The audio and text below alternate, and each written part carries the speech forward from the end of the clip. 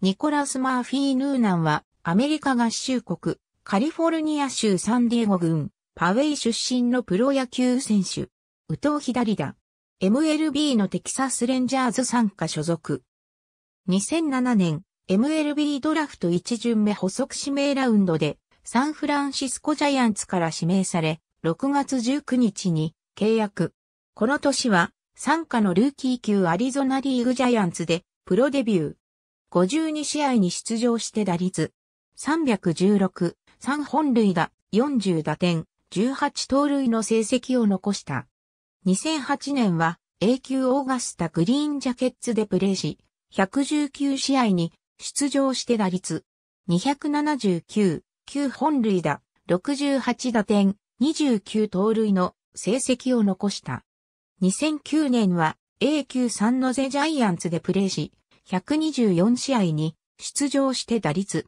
259、7本塁打、64打点、9盗塁の成績を残した。2010年は A 級リッチモンドフライングスクーレルズでプレーし、101試合に出場して打率。237、3本塁打、26打点、7盗塁の成績を残した。2011年は A 級リッチモンドで開幕を迎え、71試合に出場。打率212、3本塁打、25打点、2盗塁の成績を残した。7月にトリプル A 級フレズノグリーズリーズに昇格。13試合に出場して打率297、1本塁打、4打点、1盗塁の成績を残した。8月からは A 級3のゼでプレーし、28試合に出場した。2012年はトリプル A 級フレズノでプレーし、129試合に出場して打率296、9本塁打、62打点、7盗塁の成績を残した。オフの11月21日に40人枠入りを果たした。2013年は開幕からロースター入りし、4月3日のロサンゼルスドジャース戦でメジャーデビュー。代打として出場したが凡退に終わった。6月13日のピッツバーグパイレーツ戦では9回表の第5打席で初本塁打を放ち、二塁塁審のウォーリーベルも本塁打の判定をしたが、直後にパイレーツのクリント・ハードル監督が抗議したところ、ビデオ判定でフェンスに直撃していることが分かり、二塁打に訂正された。この年は62試合に出場して打率219、5打点の成績を残した。2014年3月14日にトリプル A 級フレーズのへ移動し、そのまま開幕を迎えたが、メジャーへ昇格することはなく、7月25日に戦力外となった。8月3日に40人枠を外れる形で、トリプル A 級フレーズノへ降格した。トリプル A 級フレーズノでは104試合に出場して、打率237、3本塁打、24打点、6盗塁の成績を残した。オフの11月4日に。FA となった。2014年12月11日に。ニューヨークヤンキースとマイナー契約を結んだ。2015年は。開幕から。参加のトリプル A 級、スクラントン・ウィルクスバリレールライダースでプレーしていたが、7月20日に。自由契約となった。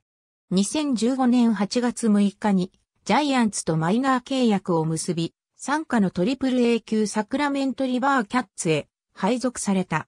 9月1日にメジャー契約となり40人枠入り。10月15日にトリプル A 級サクラメントに降格となり、同日 FA を選択した。2016年2月8日にサンディエゴパドレスとマイナー契約を結び、スプリングトレーニングに招待選手として参加することになった。開幕は参加のトリプル A 級エルパソチワワズで迎え、8月10日にメジャー契約を結んでアクティブロースター入りしたが、8月20日にトリプル A 級エルパソへ降格。